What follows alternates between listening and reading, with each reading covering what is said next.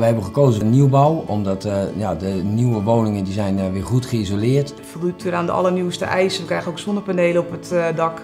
Dus ja, we gaan er ook vanuit dat we erg lage energiekosten hebben daardoor. En in combinatie dat we flink wat minder rente gingen betalen, waardoor uiteindelijk ja, ook qua maandlasten aan alle kanten een stuk aangenamer geworden is. De uitstraling van de woningen vonden we echt heel erg mooi. Is een hele mooie bouwstijl. Um, er is ook echt veel aandacht besteed aan, de, aan, aan, aan, het ontwerp. Uh, luxe afgewerkt. Uh, ook uh, de opzet van de wijk zeg maar, sprak ons heel erg aan. Er zijn ruime kavels.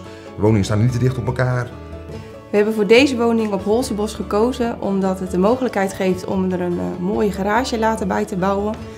En de jongens krijgen grote ruime kamers en een heerlijke grote badkamer. Ja!